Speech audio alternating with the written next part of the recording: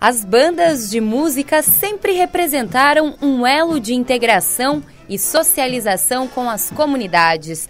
Com este propósito, que a banda da Brigada Militar volta a realizar apresentações todas as segundas e quartas-feiras no fim de tarde, em frente ao Palácio Piratini. Assim entendeu o comando da Brigada Militar que a banda deveria se fazer presente aqui e trazer um, um pouco mais de alegria para o ambiente aqui em torno da praça, em torno da Assembleia, do Palácio.